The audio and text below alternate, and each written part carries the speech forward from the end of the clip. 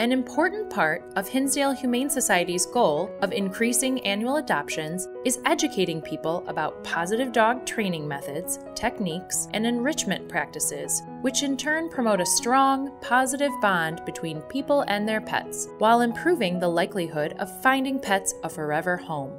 At the Tuthill Family Pet Rescue and Resource Center, operated by Hinsdale Humane Society, dog training classes are conducted using positive training methods to promote humane pet treatment and responsible pet care, as well as helping people bond with their pets. We have puppy classes, we have adult dog classes, which we call the family dog class. We have an intermediate advanced class, which is called Beyond the Basics, and we've also added a therapy dog class. This is my dog Eddie. Eddie is an alumni of Hinsdale Humane Society. I adopted him about a year and a half ago.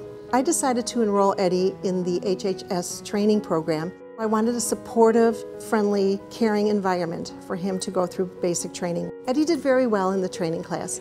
He learned basic commands, he learned his name, he even learned a few tricks. He did so well in the training class that I was able to enroll him in Hinsdale's TheraPaws pet therapy program because he was so responsive to the commands and he paid very good attention, so I knew he would be a good therapy dog. We do take the dogs that are from the community also. We don't only accept dogs who have been adopted from us. We do private lessons if you're not sure if your dog will do well in a group dog setting. Enrichment activities are important to shelter animals to help them gain the confidence and trust needed to be successful in their forever homes. A lack of enrichment in a pet's environment can lower immune systems and lead to behavioral issues and neurological degeneration. We have a cat superhighway in the cat room, so they're kind of up high so they can run around. We also have a catio in there so they can get some fresh air but they're safely secured.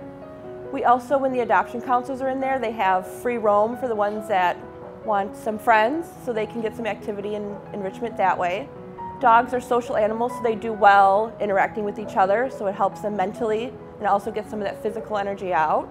We have frisbees we put peanut butter on and they're kind of in the back of their cage so they have to work to get that off. Sometimes we have them at the front desk so they're interacting with the public, they're getting some out time there. The main difference between enrichment activities and training especially with the dogs, it allows them to be themselves. Just as people, they have their own personalities. Enrichment we find is very important for the animals here. We need to keep them not only physically healthy, but we want to keep them mentally healthy so that they can be here and be happy. And then once they're happy, it's easier to be more adaptable. And then once we help them be more adaptable, then they can stay in their forever homes, which is our main goal here.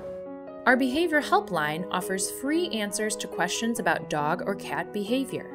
One of our knowledgeable staff members will return your message within 48 hours with suggestions on resolving basic behavior issues and recommendations on where to go for help with more complex issues. I would definitely recommend Hinsdale Humane Society's training programs to anyone. They are very supportive, very kind, and the trainers here really love dogs. You can tell that by the way that they handle each individual dog in the classes. The classes are small, they're not threatening, and they do everything they can to make the dog succeed. For more information and details about our dog training classes, please visit our website or call us at 630 323 5630.